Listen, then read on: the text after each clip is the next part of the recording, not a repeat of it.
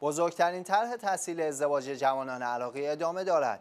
مؤسسه فرهنگی و نیکوکاری مصباح الحسین علیه السلام طرح بزرگ تحصیل ازدواج جوانان عراقی با عنوان خانه مودت را در ماه مبارک رمضان به شکلی متمایز برگزار کرد.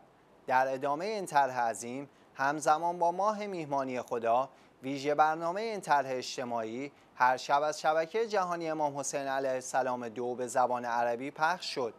هر قسمت از این برنامه با حضور یکی از هنرمندان و شخصیت اجتماعی عراقی به صورت زنده بر روی آنتن شبکه امام حسین علیه السلام رفت و تا پایان ماه مبارک رمضان 60 جوان عراقی به قید قرعه برنده دریافت کمک هزینه ازدواج به ارزش دو میلیون دینار عراقی شدند.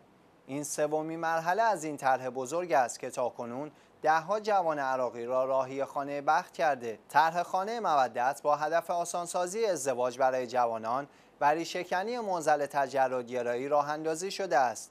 در این طرح بدون در نظر گرفتن قومیت یا مذهب جوانان با همکاری خیرین عراقی کمک های مادی و فکری در اختیار آنها قرار داده می شود تا ازدواجی آسانتر داشته باشند.